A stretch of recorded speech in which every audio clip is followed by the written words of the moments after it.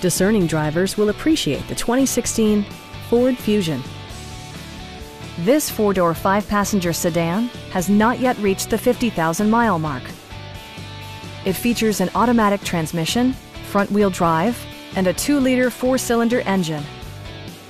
A turbocharger is also included as an economical means of increasing performance. A wealth of standard features mean that you no longer have to sacrifice, such as remote keyless entry, front and rear reading lights, power door mirrors and heated door mirrors, and power seats.